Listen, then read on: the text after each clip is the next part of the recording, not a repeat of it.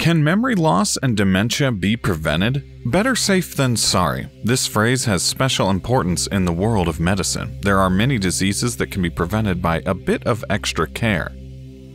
What about dementia and memory loss? A little forgetfulness here and there is fine, but memory loss is no joke. My question is is there a way to prevent this? Memory loss is a self explanatory phrase. Dementia, on the other hand, not so much. It's actually an umbrella term for several diseases and conditions characterized by a decline in memory, language, problem solving, and other skills that are crucial for a person's everyday functioning. Because of this, there are many different types of dementia, all with diverse causes.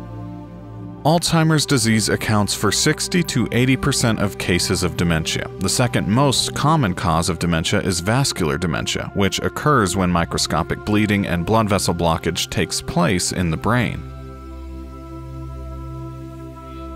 The prevention of dementia depends on its cause. For example, leading a healthy lifestyle can reduce your risk of cardiovascular diseases such as stroke and heart attacks, which are risk factors for vascular dementia and Alzheimer's disease.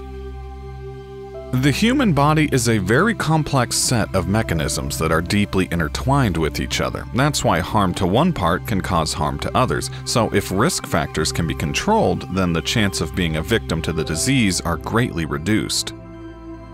Dementia has many risk factors, but some of them are inevitable. For example, aging.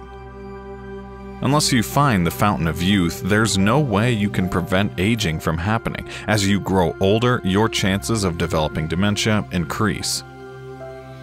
Another risk factor that cannot be controlled are your genes.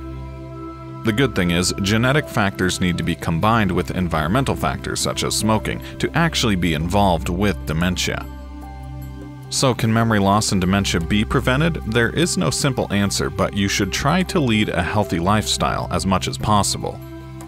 There is credible evidence that regular physical exercise, maintaining a healthy weight, avoiding smoking, and too much alcohol are all linked to a reduced risk of dementia.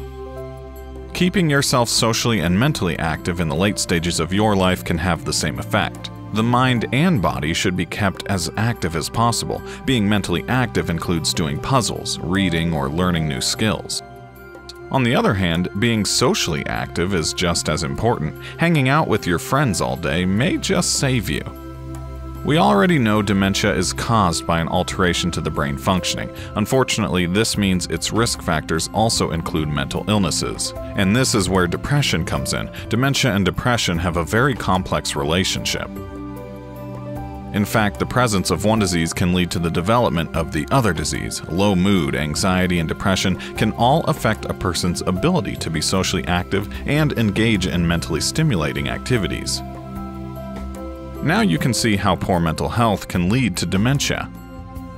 With all that being said, you probably understand the importance of regular checkups. It's always better to catch something like this in the early stages so that coping and treating it becomes easier.